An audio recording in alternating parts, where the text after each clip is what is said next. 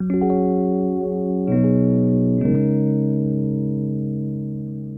everyone, welcome to another tutorial. My name is Aysel. I am an illustrator here at Vectornator. And today I want to show you how to draw a red panda. I've got my sketch ready which you can create based on a real life reference or you can simply use my own artwork. You can find a download link to the Vectornator file in the description box below. But before we jump in, I want to show you how to create a few gradients because they are key in making this artwork stand out. Going to create a simple brush stroke with the brush tool. Okay, now in order to give our stroke a gradient, I have to transform it into an outline shape by tapping on outline. Hope you caught the change in my shape. The pad is not going through my object, but it goes all around it. With this done, I'm going to the Style tab and select the linear gradient.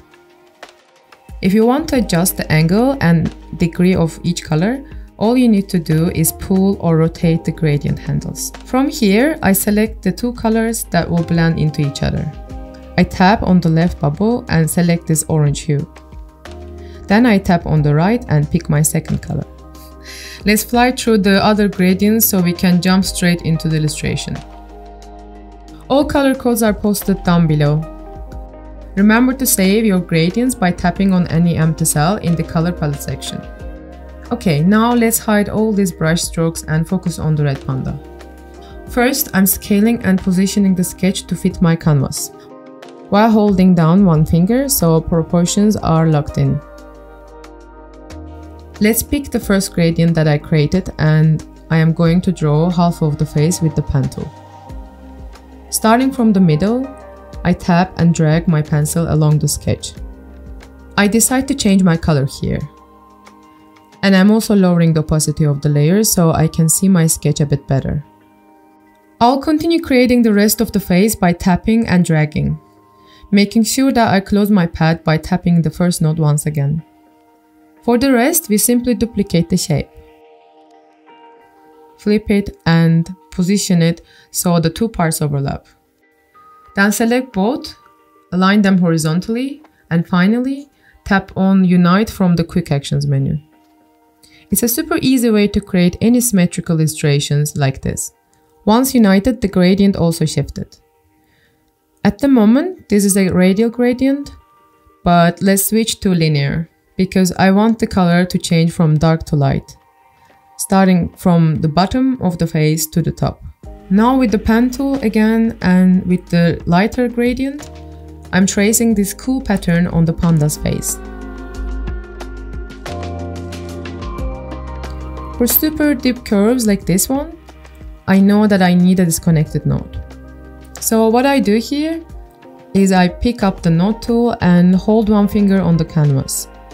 And then I move each handle individually. That's it. For the rest of the shape, I continue with the usual asymmetrical nodes by tapping and dragging. Remember to close your pad.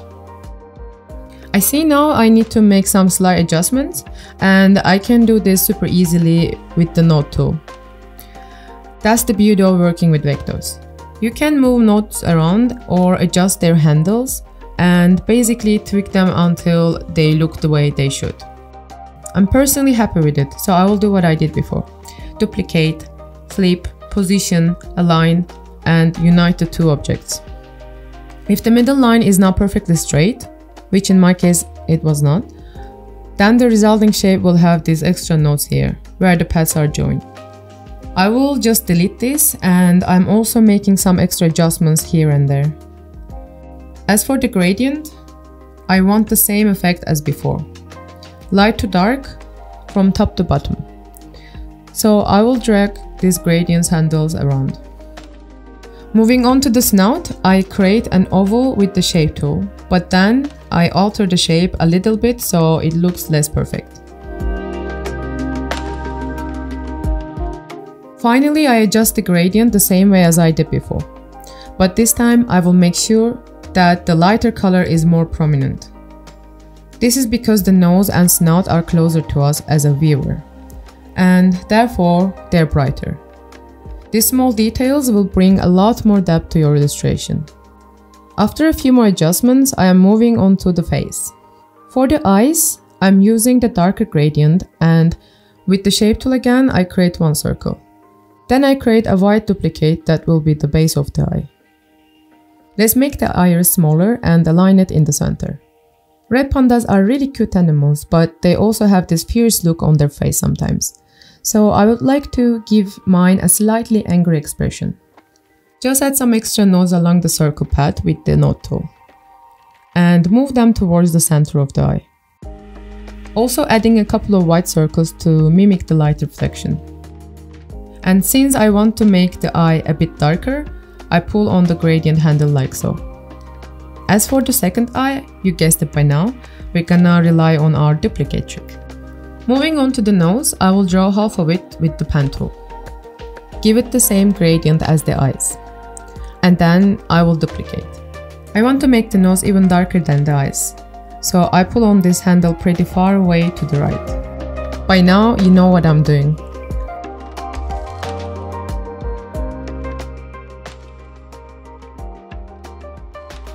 Alright, after all the hard work, it's time to see the true colors of our panda. So let me select each layer one by one and bring the opacity all the way up. At this stage, you might notice that some colors or shapes need readjusting. So tweak nodes and gradient handles until you're happy with the result. And now I'm completely done. Here's how our cute and fierce red panda turned out. Hope you guys were able to follow along and let us know in the comments below what other tutorials you would like to see from us.